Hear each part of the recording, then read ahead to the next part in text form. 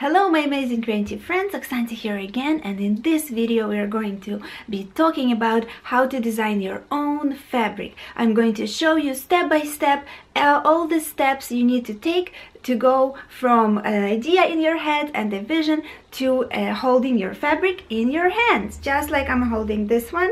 And this is uh, the example fabric that I'm going to show you how I designed. And so stay tuned how to design your own fabric step-by-step -step tutorial. So uh, first of all what we are going to do is we are going to uh, come up with a topic for your fabric. So it is important in this case to think what are you designing for? Is it going to be a scarf for you for example? Then you might consider uh, the colors of the clothing that you wear the scale of the artwork and general style that you like uh, if it's going to be a blanket for your baby uh, then you might consider is it a boy or girl or maybe neutral colors. And then uh, do you have a specific preference in the baby's room bedroom for example so that the the blanket can fit right in. So these are def definite considerations that you want to consider. If you are thinking to creating a fabric for sale one day then you might consider the industry that you are going to design it for. For example kitchen towels or is it a uh, clothing uh, item for who is it the clothing item this is definitely something that you are going to think about. Once you have the topic for your fabric uh, step two is to create your elements. Uh, we are. I'm going to show you the particular fabric that I created with floral elements and leaves, and uh, I created the sketches for this um, fabric so that you can um, see how to start with these elements. The sketches can be very rough. You do not have to create them very, detailed. They can be general outlines. This is the sketch that I was working uh, on before I created the fabric and this that we are making in this video. And uh, it is important to envision your elements separately. You don't have to but it is very helpful when you envision your elements one at a time basically isolated on a piece of paper because this way you can combine and overlap them in many different ways. So these elements are really really helpful uh, in the long run when you're developing your pattern collection so after we have our sketches done, we are going to be recreating them in Adobe Illustrator. So there are other ways to create your sketch, your uh, elements, and for example, you can use a Photoshop, Adobe Photoshop for that. So there's different different ways, but I personally you like vector elements, uh, so I use Adobe Illustrator. So here are the elements that I created based on the sketches that I showed you. And this one was the first one and the leaves. And then I created a few matching flowers directly in Adobe Illustrator so that I can uh, use them in the pattern and combine them all. There's definitely, you can use a sketch or you can draw directly in Adobe Illustrator and for that it is very helpful to have a graphic digital tablet like a Wacom Intuos for example. Alright, once you have your elements, I arrange the elements in the seamless manner. This is called a repeat pattern tile and this is basically a square and actually can be a different shape where every all the flowers are repeating. So you can see that this blue flower for example this blue flower is cuts off over here and the rest of it is exactly repeated uh, over here.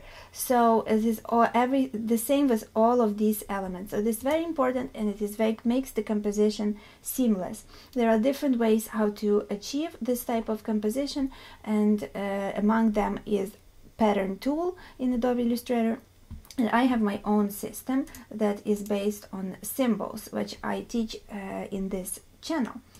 Alright so this is how the uh, end pattern is going to look like and the black line shows us the edge of the tile. And you as because it is vector you can zoom in and zoom out uh, your artwork.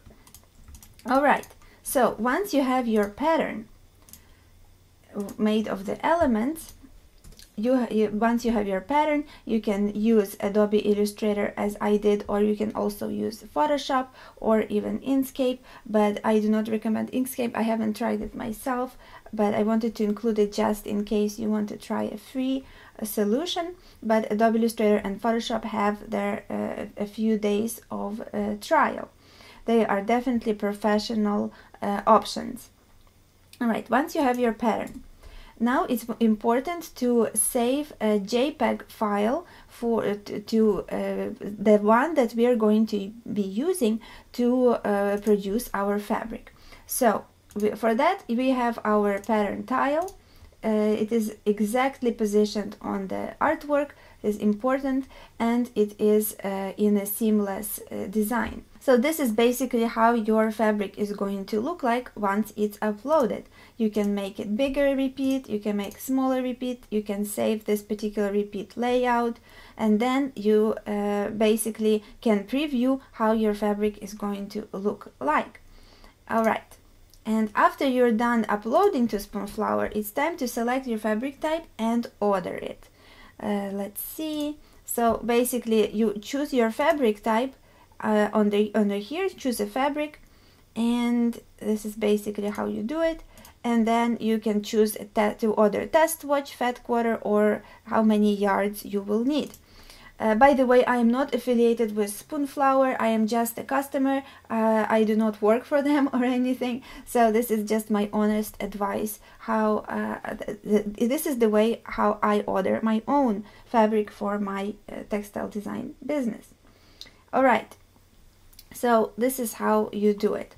Uh, next up, what we are going to do is once you have your fabric, uh, you are going to get creative with it. It is super exciting to see your fabric in really produced in real life and to produce interesting things with it. This is the fabric that I uh, designed and I showed you in the video from sketch to vector and then into repeat and then into the uh, Spoonflower website. Here is the fabric that I created and I am so so excited how it turned out. It's very nice and lightweight. I really really like it. So uh, I think I'm going to make a nice spring scarf with it and I'm excited for that project um, so another option, the bonus option I wanted to show you guys is that you can post your fabric for sale on Spoonflower and design your pattern collection. Uh, on my channel I talk a lot about creating repeat pattern designs in Adobe Illustrator and selling them online. Uh, so I have a lot of videos if you are interested in that. Uh, but it's definitely an option and I've had my shop for many years now and have been very satisfied with it. Uh, so this is definitely another cool thing to do with your fabric designs.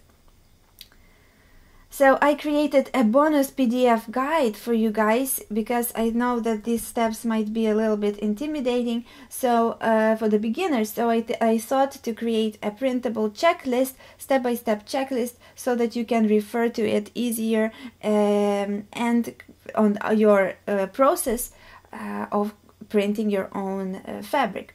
By the way, there is also different types of fabric creation. You uh, This is a digital printing method, but you also can produce your fabric by hand by uh, creating the stamps, stamp-like stens or stencil-like uh, elements and then applying the fabric or you can paint and draw on your fabric directly so these are different types of uh, versions but this tutorial in particular is focused on the digital uh, printing uh, fabric method Alright, so to receive this bonus PDF guide, it is free. I will post link down below to my blog post where you can request it and use it for your own fabric printing projects.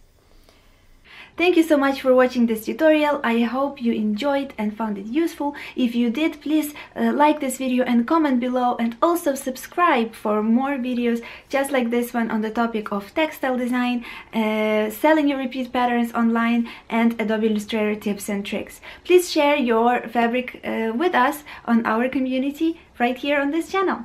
Alright you guys, uh, I wish you the best of luck with your fabric collections. Bye!